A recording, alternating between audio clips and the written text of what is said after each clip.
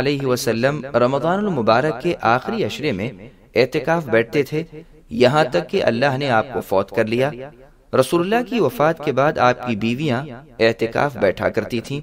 इस हदीस को बुखारी और मुस्लिम ने रिवायत किया है। इब्न अब्बास रदी अल्लाह से रिवायत है, वो बयान करते हैं कि रसूलुल्लाह सल्लल्लाहु अलैहि वसल्लम भलाई के लिहाज से सबसे ज़्यादा सखी थे और आप सबसे ज़्यादा रमदान में सखावत करते थे। जब्राईल सलाम रमदान में आपसे मुलाकात करते तो आप उन्हें कुरान सुनाते। जब आपसे जब्राईल सलाम मुलाकात करते तो आप नेकी में तेज आंधी से ज़्यादा सखी होते थे। इस हदीस को बुखारी और मुस्लिम ने रिवायत किया है।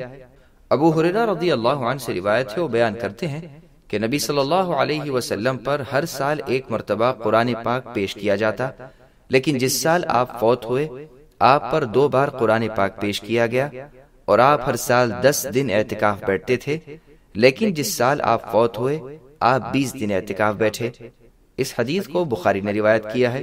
उमुल मोमिनीन आयशा रदी अल्लाह से रिवायत है, वो बयान करती हैं कि रसूलुल्लाह सल्लल्लाहु अलैहि वसल्लम, जब एहतिकाफ बैठते, आप मस्जिद में होते और मेरी जानब अपना सरे मुबारक निकालते, मैं आपके बालों में कंगी करती और आप घर में सिर्फ़ इंसानी ज़रूरत के लिए तशरीफ़ लाते।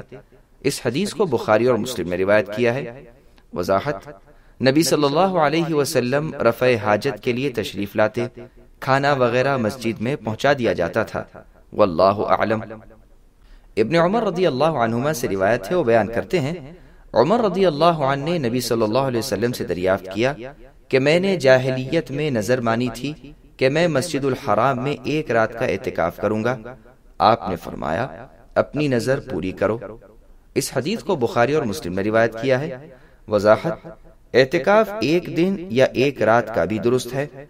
रमदान मुबारक के एहतिकाफ के अलावा दूसरे दिनों में एहतिकाफ के लिए रोजा रखना ज़रूरी नहीं है।